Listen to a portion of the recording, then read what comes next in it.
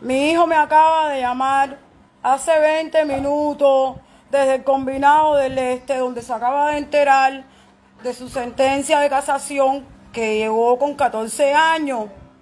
A mi hijo por teléfono se estresó, me acaba de decir que está plantado hasta la muerte, que esto es patria y vida. Comienza a gritar ahí mismo abajo Díaz Canel donde yo le digo, hijo, por favor, escúchame, aquí estoy yo para luchar por ti. No te arriesgues allá adentro, coño. Que allá adentro te matan y no te pagan. Te cortaron la llamada.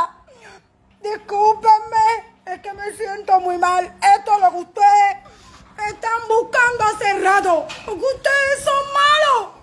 Ustedes son lo peor que pudo haber parido una mujer,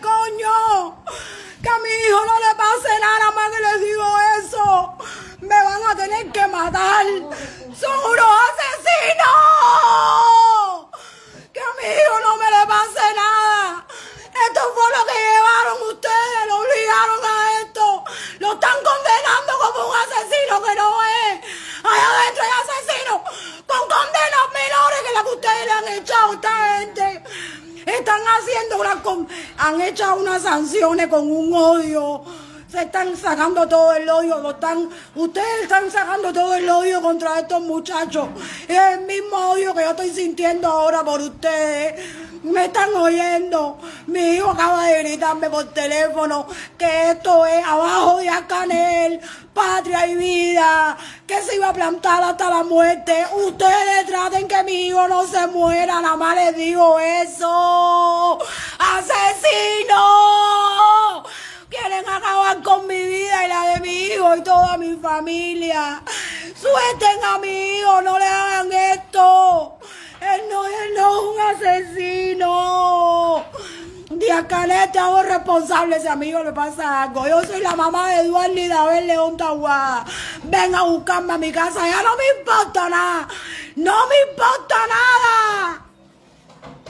Asesinos que son. Esto es lo que ustedes están buscando. Hijo de su buena madre. Las madres no tienen culpa. Las madres de ustedes ahora mismo están sin dormir por culpa de ustedes. Estoy segura de esto. Asesinos que son. Nada más que les voy a decir una cosa.